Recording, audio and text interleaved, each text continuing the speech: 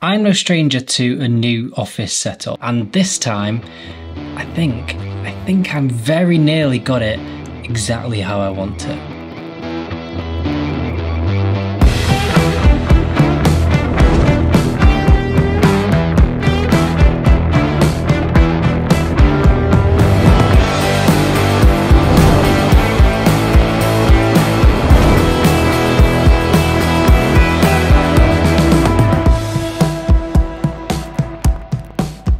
So I thought I'd make a quick little video of this YouTube studio bedroom tour thing, whatever you want to call it. And hopefully by doing that, it will give you a few ideas and something that you might want to include in your own setup as well. It's taken me years to get to a setup that I am as happy with as I am with this one and I think it's the experience of making mistakes that you start to learn what works and doesn't work for you in your own studio space but I think an office or studio needs to be as inspiring for you as it possibly can be because you spend a lot of time in here.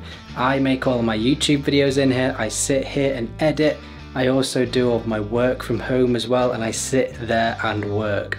So it needs to be a place that I enjoy spending a lot of time in. But at the same time as well as looking good and being an inspiring place to be in, it needs to be fully practical as well. It can't just look good, it needs to work. So we'll start with my little desk setup, which is my main filming angle, pointing towards this wall that I'll show you in a second. So that is where I was speaking to you from before. Set up on a tripod there, I have the Lumix S5, I have a microphone boomed above it, which is the Rode NTG4 Plus, and that just goes straight into my camera. And then I've just got a cheap IKEA desk, which cost about 20 quid, and that just stays set up there all of the time. So as soon as I want to I can just hit record on my camera. I'm recording audio straight away because it's just going straight into my camera with an XLR to 3.5 millimeter cable. And it is as easy as that to just sit down and hit record. And having a permanent setup like that with a light ready to go just saves so much time. You've not got to worry about getting your camera, getting your microphone, getting your lights set up because it's already done, waiting and ready to go. Set up in the corner here I have this little shelf from Amazon and I just use this as a bit of a storage shelf and something that looks good. So I've got a lamp that I use when I'm working at my computer and it also acts as a bit of a backlight for when I'm filming talking head from the angle I've already mentioned. We also have on here my Lego Porsche which I absolutely love. I don't particularly like cars, I'm not into them at all but I love doing Lego and I've got a Lego space station as well because I'm a geek, I like that stuff. And down here, this is just a bit more storagey stuff. So I've got my granddad's old film camera, a few filters and little bits and bobs that I can just grab as and when if I need to. Right, it's got very dark very quickly since I started filming this video. It wasn't dark half an hour ago, but anyway, on this side of the room, on this wall, I have covering this window a big blind and that is for a couple of reasons. One is because when I'm filming from my main filming angle, in the afternoon the sun comes round that side of the house and shines straight through the window and it makes it really hard to control the lighting. By having this big blackout blind it means that I can just block all of the light out of the room and have full control over everything I'm lighting with my main key light and also the two lamps that I've got set up either side of my desk as well. That just makes filming videos so much easier because I've not got to keep changing the exposure because the sun has come out from behind a cloud and changed the whole lighting scene. What it also means is I've got quite a cool backdrop for some things sometimes if I want. Something like this. So I could bring the blind down, bring out the plan, do something like this. One sec, bit of faffing around. Maybe that looks quite cool as a bit of a different filming angle. If I wanted to just light the back of me, I could maybe move that light around and just light the back. That might look quite cool sometimes if I wanted to make something a little bit more serious, I guess. So yeah, good to have something like that. I can also use that for different thumbnails and photos and backdrops for whatever I want. 30 quid from Ikea, bargain. One thing I realised I missed from my filming angle setup was this, which is a little swivel arm which I can pull out if I want to, just like that. Attach a camera to this little ball head and create a top-down shot nice and easily while I'm filming, which is really nice. It's a nice extra angle to have for some B-roll. I can use it for some, I don't know, lay down, what's it called? Lay down photography? Flat lay photography. Uh, so that's a really nice little thing to have and it just hides away out of the way when I'm not using it. And then we're on to the main wall, which is the bit that I wanted to just look and feel inspiring.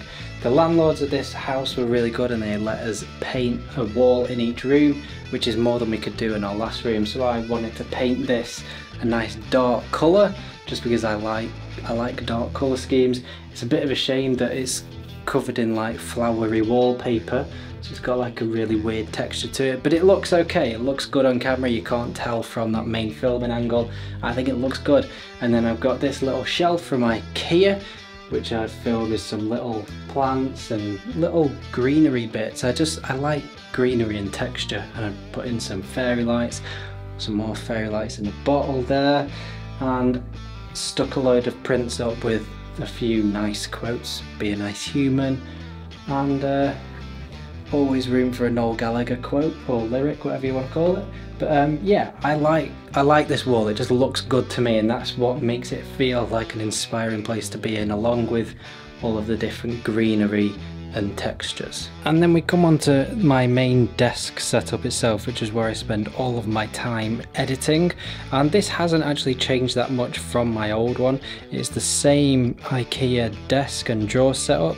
The only thing is I've painted these because they were a horrible bluey colour and I've painted them black because they look cool. I've still got the MacBook Pro 14 inch, the same monitor, the same speakers. The only thing that's changed is I've got a few desk accessories which have been very kindly sent to me from Grovemade and that is this desk shelf. Also got this cool little MagSafe charger, desk pad, the wrist pad and a few coasters. These accessories from Grovemade not only help to make the setup look really cool, but this shelf in particular has actually helped me quite a lot and I would definitely recommend raising your monitor even higher because I've got back into playing cricket this year recently and I've been suffering with a little bit of a bad back and raising my monitor has meant that I've not been spending as much time at my desk slouching over, bending my neck, bending my back. It's meant that I'm sitting up straight, looking directly at the monitor and it has been a massive help for that and I probably should have bought one even sooner. So massive thank you to Grovemade for sending me these. They did very kindly send me them for free but they are also offering 10% discount at the code at the code. They're also offering a 10% discount in the store using the code SCOTT10. I will leave the link in the description. Go and check them out if you want to.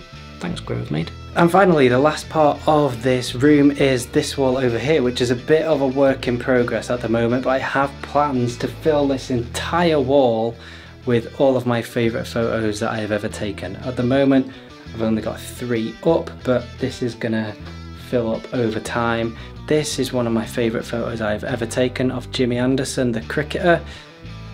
You can actually see that photo on his Instagram account, which is quite cool and there's a long story behind that.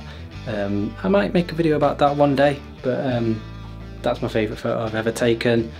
And the others are quite cool as well. But that wall is going to be filled with all of my favourite photos over time. I like it. So yeah, that is my new and current YouTube studio tour bedroom setup. It's a spare bedroom in the house, which I've turned into a YouTube, studio. call it what you will. It's a YouTube studio to me, it's an office or whatever, it doesn't matter. It's, it's a cool space that I enjoy spending time in and being creative in.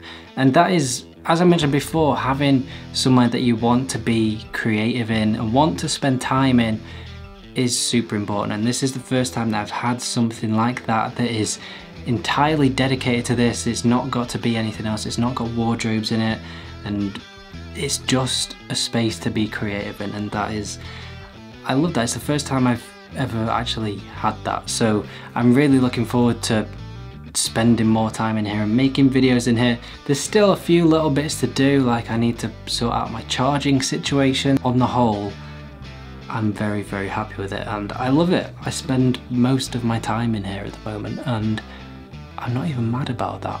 So uh, yeah that is that is the setup. I love it. And uh, it's only going to continue to get better as well. So um, yeah, let me know about your YouTube studio setups. Are you thinking of building a new one? Hopefully this has given you a few ideas to be able to put into your own setup. So yeah, that's it for this video. Um, hopefully there won't be any more YouTube studio tours on this channel for quite a while because I think I've, for me, I've nailed it with this one. There's not much more I want to do to it. But um, yeah, see you in the next video.